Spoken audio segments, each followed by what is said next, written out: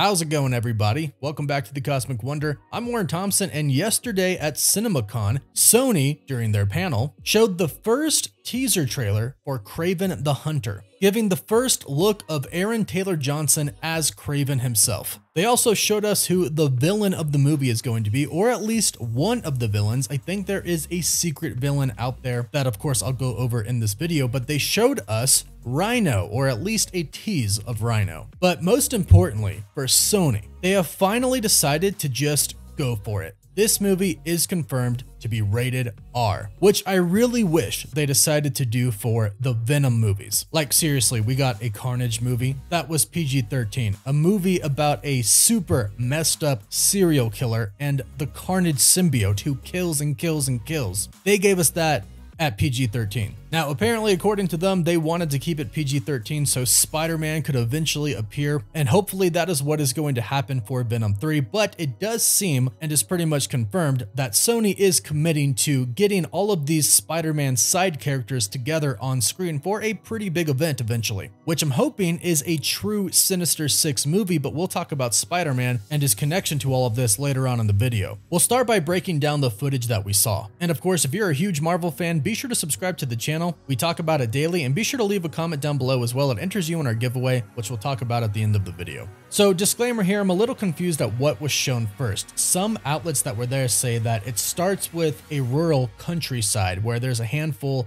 of apparent mercenaries. However, according to Erik Davis over at Fandango, he said that the footage started by seeing Kraven biting a dude's nose off. Regardless of how it started, both of these scenes are in the movie, so we'll just break it down. We'll talk about the mercenary scene first though. So this scene takes place in a rural countryside where a handful of mercenaries and poachers are confronted and hacked and slashed to death by Kraven. And the reports from discussing film say that it is super bloody. Lots of blood, lots of gore in this scene. Basically, the movie, like I said, is going full out. They are earning their rated R rating. This isn't going to be a typical watered down Sony Marvel movie. They're going full out. And there's other examples of how gory it's going to be and bloody it's going to be later on. And really what this scene is showing us is that Kraven the Hunter, or Sergei Kravinoff, he is the ultimate hunter. And in the comics, he is a big game hunter. Now, I'm not sure how they're going to make him in the Sony Marvel universe, because after all, this is going to be an origin story for Kraven. But in the comics, he kind of has his own code that he sticks to. He doesn't like the use of guns or bows or arrows. He does use blow darts, but he prefers to take down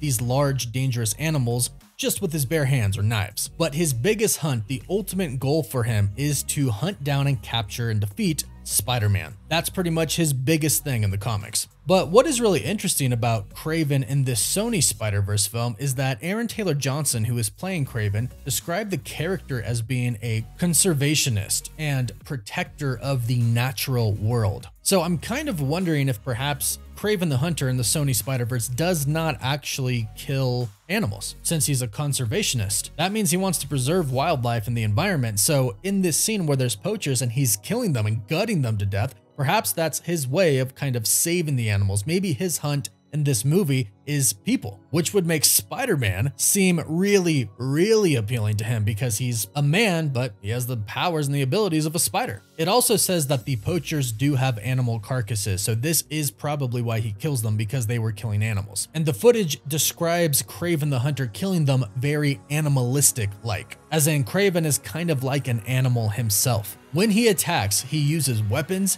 his hands, and even his own teeth as he bites a piece of a poacher's face off his nose and spits out the blood. And some have described this scene stating that he bites the dude's nose off and spits it into the camera. And throughout the trailer, when he attacks people, we see him use everything from giant spears to fully sized bear traps to decapitate and chop up people into pieces. So yeah, they're going full out with the rated R with the gore, and apparently there's a lot of F-bombs in the teaser as well. So that's one scene. Then we move on to narration from Russell Crowe, who is confirmed to be playing the father of Kraven. We hear him narrate a little bit stating what you are and what you'll be basically noting that he and his son are both predators and he raised his son in a very predator versus prey philosophy and way. And according to Brandon Davis from comicbook.com, Kraven is going to vow to be nothing like his father, which is why I believe his father could be the true main villain of the film. We know that Rhino is going to be a primary villain of the film, but I'm also wondering if perhaps Kraven's father is behind Rhino. We'll get to that in just a bit. But perhaps with his father, it's sort of like a, well, I raised you one way and you are not that way. So now I'm basically gonna have to teach you a lesson. So I'm gonna make this Rhino person and you're gonna have to take him down or I'm gonna have to kill you myself if Rhino doesn't.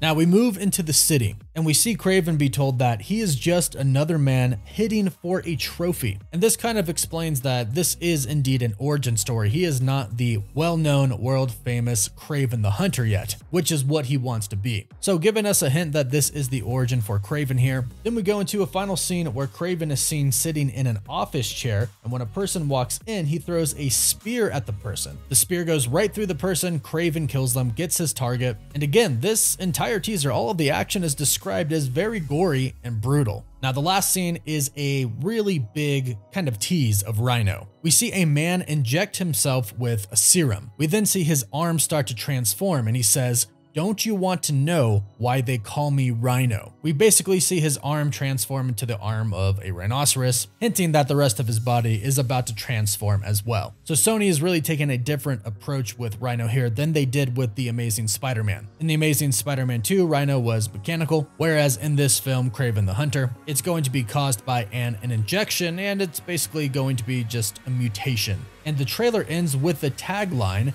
Nothing survives the hunt. So overall, this movie actually sounds like it's going to be pretty promising. Since Morbius, Sony seems to have a better handle of the Sony Spider-Verse that they are trying to set up. And Madame Web is an upcoming movie that is supposed to really set up everything. And Sony is apparently going to be doubling down on having all of the villains of Spider-Man eventually come together. And this is interesting because Kraven the Hunter is one of the founding members of the Sinister Six. As I mentioned before, Spider-Man is a big foe for Kraven. He is pretty much the ultimate prize for Kraven. And he really pisses Kraven off because he's never never been able to defeat him. So when Doc Ock comes to him saying, hey, we stole Aunt May and we have this plan to take on Spider-Man, you in? He says yes, and he's one of the founding members of the Sinister Six. Now, as far as what Sony plans to do with Vulture and Morbius, that's kind of a gray area right now. But keep in mind that Kraven is actually the half brother of Chameleon. So perhaps Chameleon could be involved with this Sinister Six project as well when they eventually go up against Spider Man. Now, as far as who our Spider Man is going to be, we don't exactly know yet. Tom Hardy has teased heavily that Spider Man is going to be in Venom 3, and he's already told us that if he's going for the gold medal in the Olympics,